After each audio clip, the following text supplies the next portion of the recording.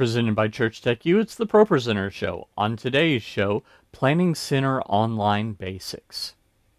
Hi, and welcome again to the ProPresenter Show.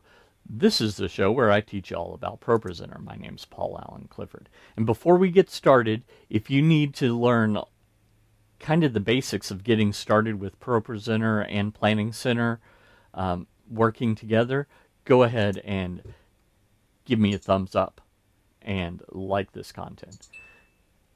Um, so, Planning Center Online is amazing software. It does things that specifically the church needs to do um, collect money, schedule volunteers, uh, create orders of worship, etc.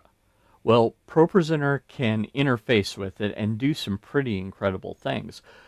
We're going to talk about those in a future tutorial, but today I thought that we'd just talk about, you know, getting it all connected and uh, talk about some of the things that you can do in Planning Center Online. So let's head over to my computer and we'll take a look. So first thing that you're going to want to do in ProPresenter is go into ProPresenter, then Preferences, and then Services. Now I say this in another tutorial, but think of services not church services, but external services that interact with ProPresenter. So we're going to click on that, and the first thing we need to do is log in. So I'm going to click log in. We see this. Um, I'm going to go ahead and put in my email address and my password. That is not my password. Give me just a second. I'm going to go ahead and and my password. Okay, now let's log in. And I've got a couple of different accounts here. Um, this is my church, and then this is the one that I'm using for tutorials and such. So I'm going to click login near this. Chances are you've probably only got one, but should you have multiples, just select the appropriate one that you need. Okay, now that we've got that, notice it has the organization name. So if you're in a situation like mine where you have multiple organizations, you know which one you're logged in as. Now we have all these choices. Let me talk about each of those. Uh, automatically check for plan updates. If you're the only one doing this, then you don't necessarily need to have that on because you would know when there are plan updates. But if there's a whole team of people doing it, it might be helpful to you. Might be helpful even if you are the only one because sometimes you might forget that you've updated something. So that's nice uh, match presentations in library that will try and match song titles that are in Planning Center with song titles that are in your library. Uh, show historical service plans. I'm going to leave that unchecked. Um, actually, I'm going to check it. I was going to leave it unchecked because um, if I was doing this with my church login, there's, you know, several years worth of plans in the historic database. So it can kind of get annoying to go through all of those. Uh, make arrangements from sequences, yes. This is uh, something you want to do because then um, sequences in Planning Center can make arrangements. Uh, automatically upload presentations and media, yes. Uh, this will enable you to kind of do some backing up of uh, Planning Center and automatically download presentations and media.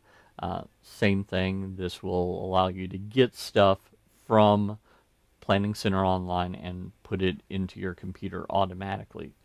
So, next, uh, it's going to ask where you want to download that to, which library.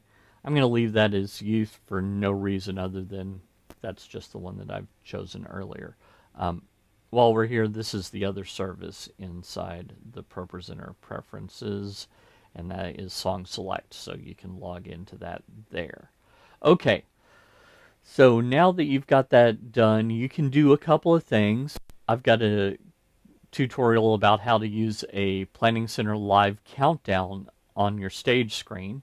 So you could do that. Uh, you would need to go to screens, um, sorry, not screens, but view and then Planning Center and uh,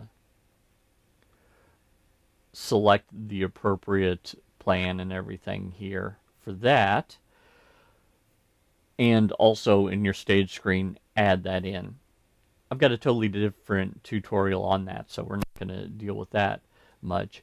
Um, but let's say that you want to add new item, you want to add a playlist that was created in Planning Center. Just uh, add that in here. So we can click the plus button here. Oops, wrong plus button. The plus button up here and go to Planning Center Service.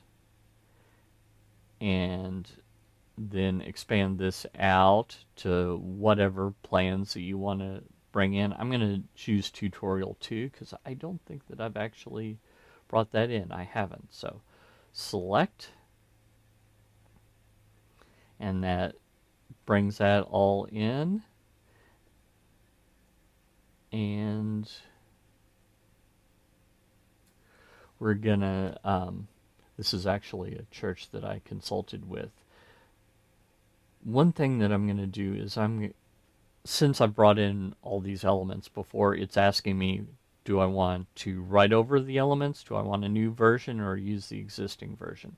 Let's just go to use existing and um, go from there. So if I go through each of these, you'll notice that um, I've got the arrangement from Planning Center here.